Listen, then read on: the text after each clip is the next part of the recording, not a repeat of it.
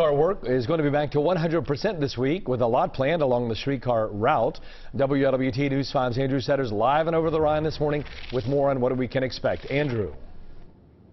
Well, Todd, we are at Findlay Market where there are rails in the ground, and really you can drive on those rails uh, south of where we are now. A lot of more construction work still to be done to the north of Findlay Market here, and as work restarts, there will be a lot uh, of work going on here, including a road closure not too far from Findlay Market. Work resumed right after Christmas as more rails were delivered and crews got back on the job. The one-month delay before the new Cincinnati City Council got on board with the project resulted in some delays, but things are going steady once again. Crews will be working north of Findlay Market over the next couple days, getting ready to, for a concrete pour later this week, and there'll be a road closure at Elm and Findlay for a couple of days starting on Thursday. There is a lot more going on than just putting rails on the ground. There's also work going on to relocate utilities, move water mains, and take care of traffic signals as well. A lot of work ahead over the next uh, more than two years to finish up this project. Reporting live from over the Rhine, Andrew Setters, WLWT News 5.